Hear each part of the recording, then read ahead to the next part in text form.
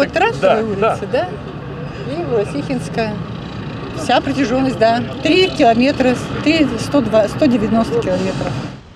Вот так этот проект выглядит на бумаге, звучит масштабно. Идею по расширению вечно загруженной улицы Попова озвучили более 10 лет назад. Именно тогда и был разработан амбициозный план.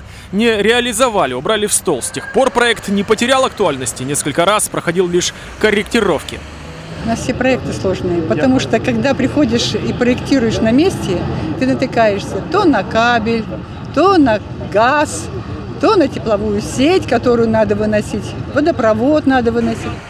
Новая улица, по задумке дорожников, должна привести автолюбителей из большого пригородного района в большое светлое будущее, где нет никаких пробок. Проектировщикам и дорожникам, можно сказать, повезло. Дело в том, что еще в советское время здесь предполагалось строительство точно такой же дороги.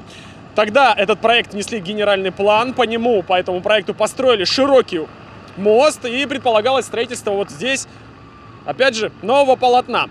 Если бы не было переправы, то, по мнению уже сегодняшних реалий, это привело бы к значительному удорожанию проекта. Только на строительство моста ушло бы 150 миллионов рублей. Сейчас чиновники говорят о 600 миллионах. Сумма тоже приличная, на дороге не валяется, но и работы-то много. Так предполагается строительство ливневой канализации. Система эта есть, работает, правда, на одной из сторон. Теперь будет по всей ширине и длине.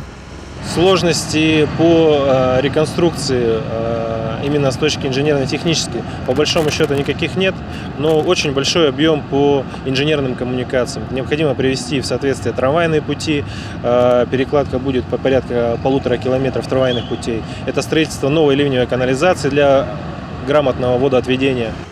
Ливневка – один из самых сложных этапов. После ее установки сразу же начнут укладку верхних слоев. Часть материала уже подготовлена. В зиму оставят покрытие без асфальта, наверняка гравий просядет, обновят. Это будет уже в следующем году, как и ремонт старого полотна. После всех работ магистраль станет шире ровно до шести полос.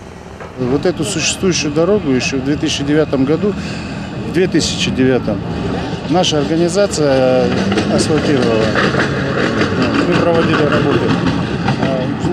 Посчитайте, сколько лет прошло, и посмотрите, какой напряженный трафик здесь. И, ну, дорога держится еще.